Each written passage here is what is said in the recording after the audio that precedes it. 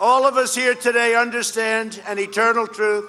Every child is a precious and sacred gift from God. And from the first day in office, I've taken a historic action to support America's families and to protect the unborn.